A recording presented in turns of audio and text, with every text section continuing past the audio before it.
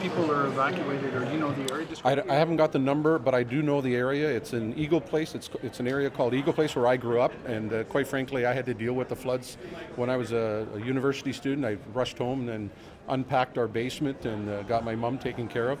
Uh, and quite frankly, the, the auxiliary police, uh, the first responders have all stepped up, and everything seems to be responding the right way to what you're supposed to do in a case of an emergency like this. The flooding is, is huge. It's very huge. Um, uh, I've seen the pictures. I was born in 1954, but I've seen the pictures. My family actually rode a boat from the front lawn, and two neighbors, two, two neighbor homes were picked up by that boat uh, and, and brought to safety. So uh, this, this hits home. Are you going to go soon? Um, I'm going to leave as soon as I can. Today? Are you going today? Oh, I, I, I, I'm making arrangements to have this afternoon. You sound emotional about this. Of course, this is people.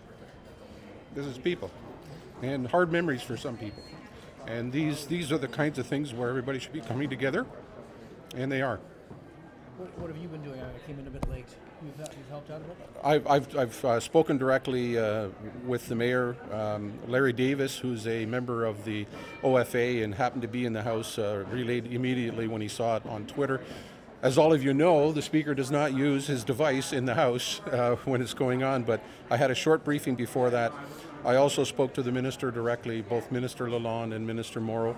Uh, they're on top of this. We've all engaged uh, uh, in all of the process that's being employed. The Mayor has stepped up along with Council and uh, the emergency response teams um, have done a great job so far.